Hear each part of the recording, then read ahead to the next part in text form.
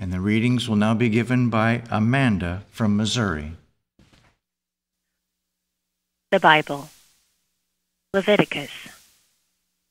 I am the Lord your God. Thou shalt not hate thy brother in thine heart. Thou shalt not avenge, nor bear any grudge against the children of thy people.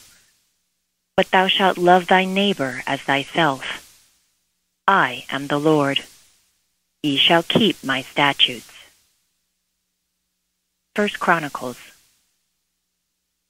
Blessed be thou, Lord God of Israel, our Father, for ever and ever. Thine, O Lord, is the greatness, and the power, and the glory, and the victory, and the majesty. For all that is in the heaven and in the earth is thine. Thine is the kingdom, O Lord, and thou art exalted as head above all.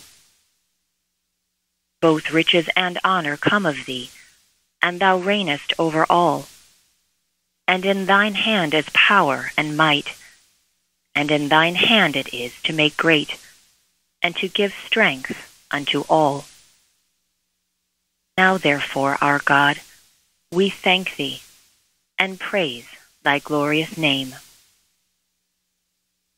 Psalms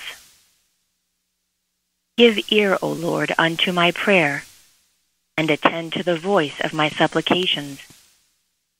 In the day of my trouble I will call upon thee, for thou wilt answer me.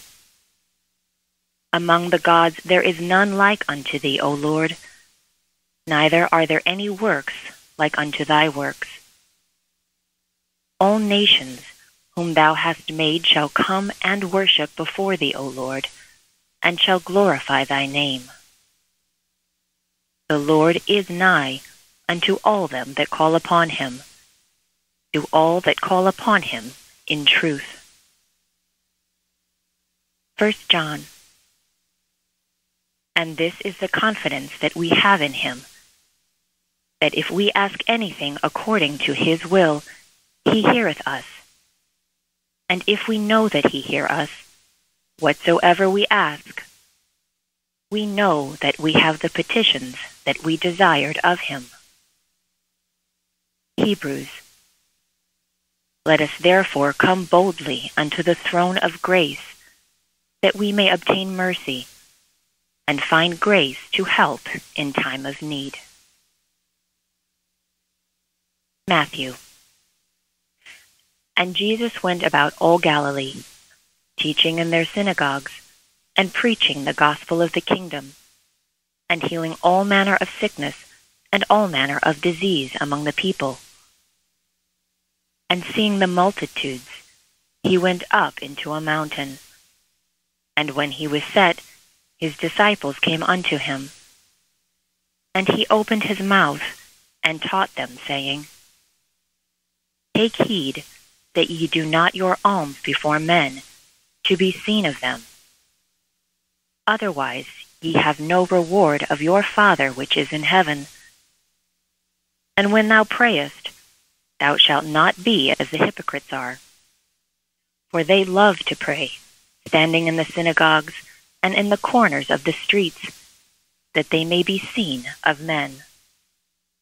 Verily I say unto you, they have their reward. But thou, when thou prayest, enter into thy closet, and when thou hast shut thy door, pray to thy Father which is in secret. And thy Father which seeth in secret shall reward thee openly. But when ye pray, use not vain repetitions, as the heathen do, for they think that they shall be heard for their much speaking. Be not ye therefore like unto them. For your Father knoweth what things ye have need of, before ye ask him. After this manner, therefore pray ye. Our Father, which art in heaven, hallowed be thy name. Thy kingdom come. Thy will be done in earth, as it is in heaven. Give us this day our daily bread, and forgive us our debts, as we forgive our debtors. And lead us not into temptation, but deliver us from evil. For thine is the kingdom, and the power, and the glory, forever. Amen. Seek ye first the kingdom of God, and his righteousness, and all these things shall be added unto you. My house shall be called the house of prayer. Acts. Ye are the children of the prophets, and of the covenant which God made with our fathers, saying unto Abraham, And in thy seed shall all the kindreds of the earth be blessed. Unto you, first God, having raised up his Son Jesus, sent him to bless you, in turning away every one of you from his iniquities. Be it known unto you all, and to all the people of Israel, this is the stone which was set at naught of you builders, which is become the head of the corner. Neither is there salvation in any other, for there is none other name under heaven given among men, whereby we must be saved. Go, stand and speak in the temple to the people all the words of this life. The God of our fathers raised up Jesus. Him hath God exalted with his right hand to be a prince and a savior, for to give repentance to Israel and forgiveness of sins. And we are his witnesses of these things, and so is also the Holy Ghost, whom God hath given to them that obey him. Wherefore, brethren, we will give ourselves continually to prayer and to the ministry of the Word.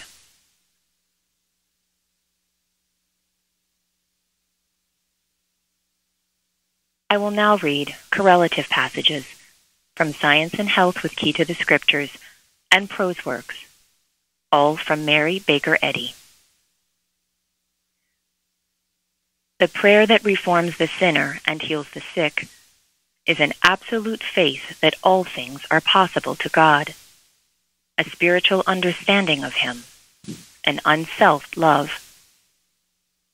The test of all prayer lies in the answer to these two questions. Do we love our neighbor better because of this asking? Do we pursue the old selfishness, satisfied with having prayed for something better, though we give no evidence of the sincerity of our requests by living consistently with our prayer? There is a cross to be taken up before we can enjoy the fruition of our hope and faith. Our Master taught his disciples one brief prayer, which we name after him, the Lord's Prayer. Our Master said, After this manner, therefore pray ye. And then he gave the prayer which covers all human needs. Here let me give what I understand to be the spiritual sense of the Lord's Prayer.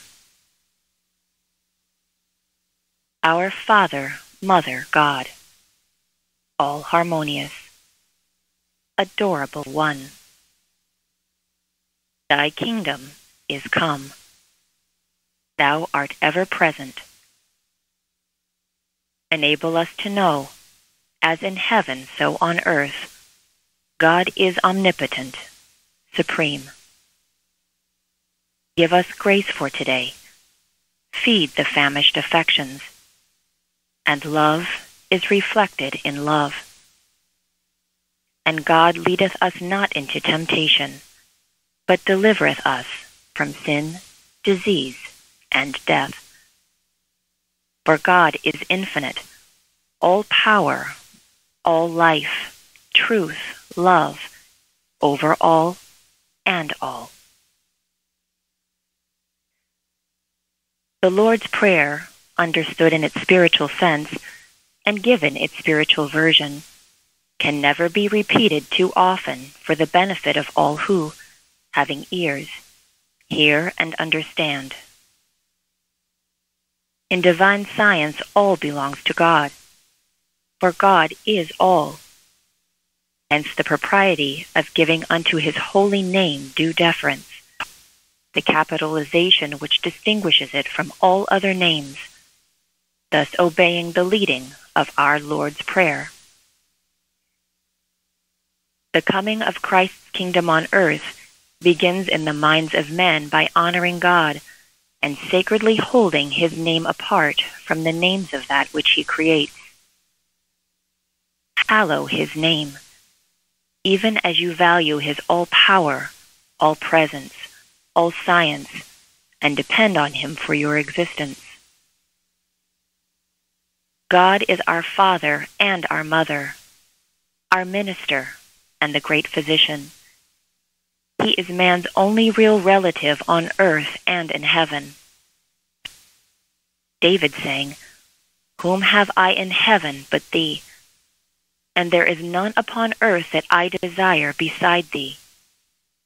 Brother, sister, beloved in the Lord. Knowest thou thyself, and art thou acquainted with God? If not, I pray thee as a Christian scientist, delay not to make him thy first acquaintance. Glorious things are spoken of you in his word. Ye are a chosen people, whose God is what? Even all.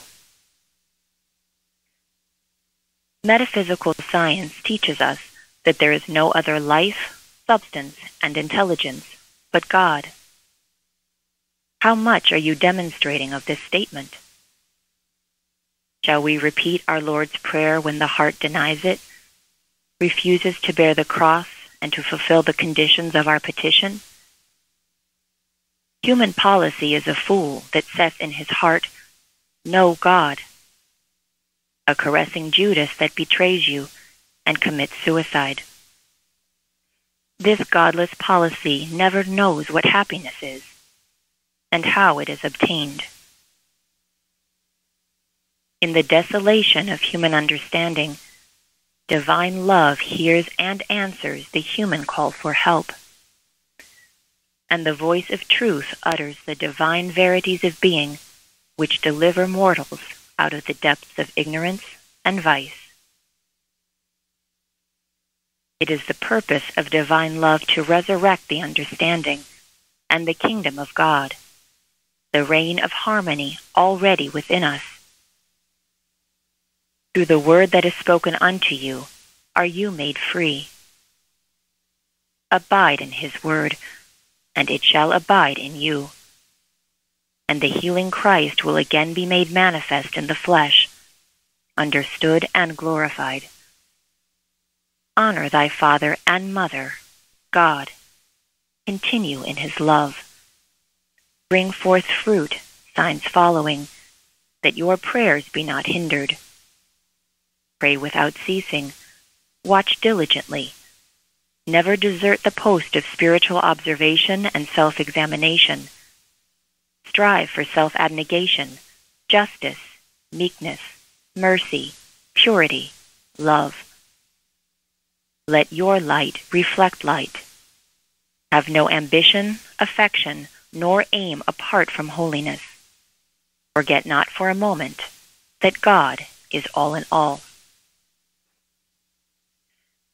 The unity of God and man is not the dream of a heated brain. It is the spirit of the healing Christ that dwelt forever in the bosom of the Father and should abide forever in man.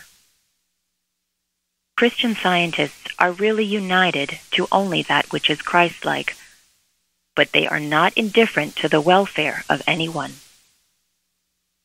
To perpetuate a cold distance between our denomination and other sects and close the door on church or individuals, however much this is done to us, is not Christian science.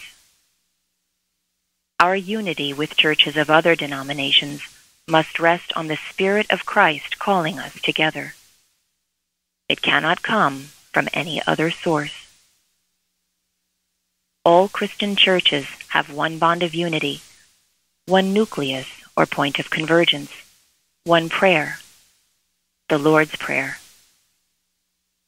It is matter for rejoicing that we unite in love, and in this sacred petition, with every praying assembly on earth, Thy kingdom come, Thy will be done in earth, as it is in heaven.